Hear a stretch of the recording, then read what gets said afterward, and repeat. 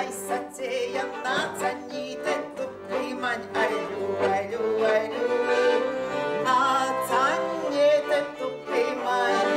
Man tā dzimšanas diena iekrīt tieši Pēterdienā, un man tētis bija Pēters. Tā kā mamma uzdāvināja tētim, nu, es domāju, tāda tīra laba dāvana. Aktrise Zana Jančevska dzimusi pirmdienā, tādēļ viņai jau šūpulī ielikts esot strādīgums. Arī pirmo nozīmīgo dzimšanas dienu viņa sagaidīs ar savu tautas dziesmu programmu Dziesmu dance. Tautas dziesma atnāca pie manis eh, arī caur tādu rakstīto, rakstīto četrindi. Kaut kādas sagadīšanās dēļ es ieraudzīju tīri nejauši tautas dziesmas, kur bija ļoti, nu, teiksim, augsta un spēcīga morāle. Un es domāju, cik tie mūsu senči ir bijuši gudri. Ka var pateikt četrās rindiņās mm, nu, to, ko es arī te dziedu. Es nesmēju nabagam, ne nabaga bērniņam. Es nebiju savu mūžiņu ar rociņu apraudzījusi.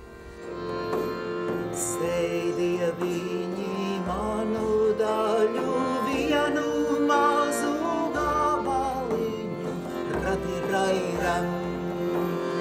Aktrisei tautas dziesmu pūs ir bagāts, un koncertā dzirdēsim arī neparastākas melodijas. Zana uz jautājumu, vai jaunais komponists Jākaps Jančevskis nu jau tautas dziesmu zināšanā apsteidzis mammu, Zana atjoko. Es tomēr zinu vairāk. Pa vidu ir paredzēta arī tāda nostāsti un teikas, ko es esmu atradusi tādu.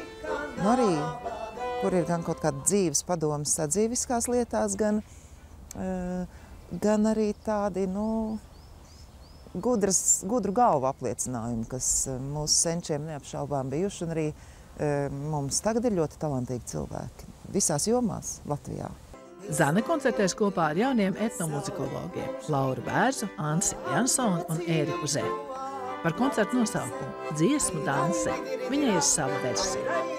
Un dziesmas, tāpēc, ka tās ir dziesmas un dance. Ļoti dīvaini dzīvē ir, ir tādi brīži, kad man nosauc citā vārdā. Daž, dažādi cilvēki, nesaistīti cilvēki, man nosauc citā vārdā, un ja man nosauc citā vārdā, tad tikai pa daci. Un viena versija, ka dace ir nevis no dārtas vai dorotejas cēlusies, bet no sena latviešu vārda dance, kur pazudis viens burtiņš. Tad es tā saliku kopā.